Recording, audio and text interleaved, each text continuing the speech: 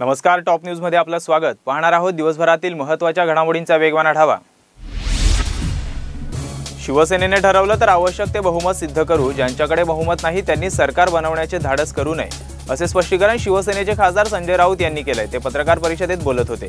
Fifty fifty formula व्हायला हवा. मुख्यमंत्री पदासह सत्तेत समसमान वाटप झालं पाहिजे. शिवसेनेचाच मुख्यमंत्री व्हावा अशी महाराष्ट्राच्या जनतेची इच्छा आहे. मुख्यमंत्री पदावर आमचा हक्क आहे. असे उद्धव ठाकरे म्हणाले. राज्याचा मुख्यमंत्री शिवसेनेचाच होणार असे संजय राऊत यांनी म्हटलंय. शिवसेना नेते संजय राऊत यांनी शरद पवारांची भेट घेतली आहे पवारांच्या सिल्वर ओक या निवासस्थानी ही भेट झाल्याची माहिती समोर आली आहे सध्या शिवसेना भाजपमध्ये सत्ता समीकरणाचा तिढा सुरूच आहे. अडीच अडीच वर्षाच्या मुख्यमंत्रीपदावर शिवसेना ठाम आहे. या पार्श्वभूमीवर संजय राऊत यांनी शरद पवारांच्या घेतलेल्या भेटीला विशेष महत्त्व प्राप्त झालंय. राज्यात सत्ता कुणाची स्थापन होणार? याबाबत सध्या वेगवेगळे तर्क लढवले जात आहेत. सत्तेत समान वाट्याच्या मुद्द्यावरून भाजप शिवसेनेत तणावाची स्थिती आहे. मुख्यमंत्रीपदावरून शिवसेना आणि भाजपात चांगलीच रस्सीखेच सुरू आहे. मुख्यमंत्री देवेंद्र फडणवीस हे फिफ्टी फिफ्टीच्या सूत्रावर बातचीत झाली नसल्याचं म्हणतायत. तर शिवसेनेकडून सत्तेत समसमान वाट्याचा पुनरुच्चार केला जातोय. यात आता शिवसेना आमदारांच्या बैठकीत उद्धव ठाकरे यांनी सणसणीत विधान केलंय. कुणी मुख्यमंत्रीपदाचा अमरपट्टा घालून आला असल्याचं समजण्याचं कारण नाही.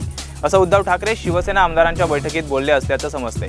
त्यामुळे शिवसेना मुख्यमंत्री पदाच्या मागणीवर ठाम असल्याचे संकेत यातून मिळत आहेत शिवसेना भाजपचा मुख्यमंत्री पदाबाबतचा तिढा अद्यापही सुटलेला नाहीये. हा तिढा सुटेपर्यंत मला मुख्यमंत्री करा अशी मागणी बीडमधील एका शेतकरी मुलाने राज्यपालांना केली या शेतकऱ्याच्या मुलाचे पत्र समाज माध्यमांवर मोठ्या प्रमाणात व्हायरल होते श्रीकांत विष्णू गदळे असे या शेतकरी मुलाचे नाव आहे.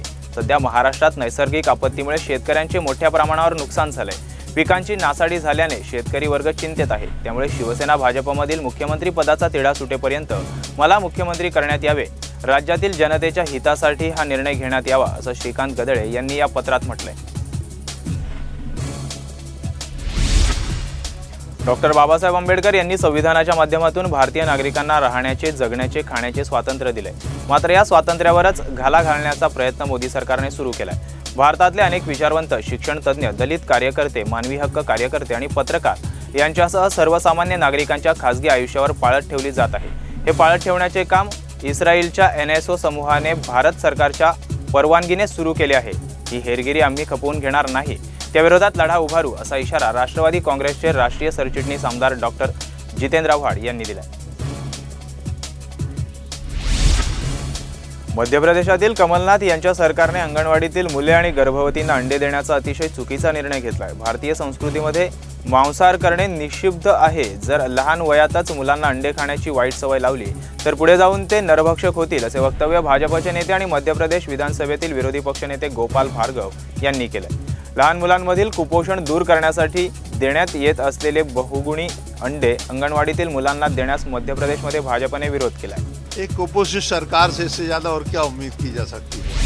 वो बच्चों को अंडा खिलाए, जो नहीं खाते हो ना जबरन खिलाए। अंडे में नहीं होता हो कुपोषण को, मुर्गे खिलाएगी, बकरे खिलाएगी, और जो कुछ बनेगा वो खिलाएगी। अरे, आदमी तो वैसे ही बने जा रहे हैं। तो भारत के जो संस्कार हैं, हमारी जो सनातन संस्कृति है, उसमें मांसाहार निषेध है। हम जबरन किसी को नहीं खिला सकते।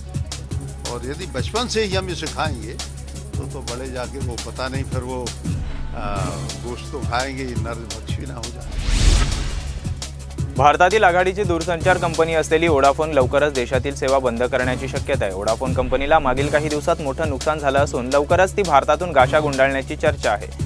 आय एन एस या वृत्तसंस्थेने असं वृत्त दिलं असून ओडाफोनकडून अद्याप यावर कोणतीही प्रतिक्रिया आलेली नाही आहे स्पर्धेत टिकून राहण्यासाठी आयडिया आणि ओडाफोननंही विलिनीकरणाचा मार्ग स्वीकारला. या दोन्ही कंपन्या एकत्र सेवा देत असताना आता ओडाफोन भारतातून गाशा गुंडाळणार असल्याचं वृत्त आल्यानं अनेकांना धक्का बसलाय.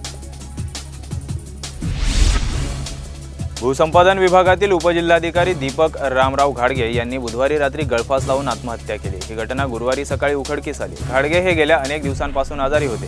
त्यातूनच त्यांनी हे पाऊल उचलल्याचा अंदाज व्यक्त केला जातोय. औरंगाबाद जिल्हाधिकारी कार्यालयात भूसंपादन विभागात घाडगे कार्यरत होते. ते काही महिन्यांपासून आजारी असल्याने त्यांच्यावर खासगी रुग्णालयात उपचार सुरू होते. या प्रकरणी सातारा पोलीस ठाण्यात आकस्मिक मृत्यूची नोंद करण्यात आली.